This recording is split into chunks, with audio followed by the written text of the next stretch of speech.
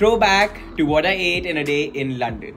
इस दिन का ब्रेकफास्ट मेरा फेवरेट था। ये सावडो टोस्ट बहुत ही ज़्यादा यम था। उसके बाद हम चलकर चाइना टाउन गए, जहाँ पर मैंने माचा वनीला आइसक्रीम खाई, जो कि काफ़ी यम थी। लंच के लिए हम लोग एव मारियो नाम के रेस्टोरेंट पे गए, जहाँ पे बहुत ही यमी ट्रफल पास्ता खाया मैंने। Super creamy and we also ordered a pizza Dessert में I had this brookie ice cream sandwich from Chin Chin and dinner में we had an Asian meal at this stunning place called Mimi Fair and gelato for dessert.